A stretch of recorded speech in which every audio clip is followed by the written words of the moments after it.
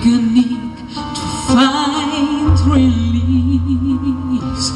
Oh, the time has come for my dreams to be heard.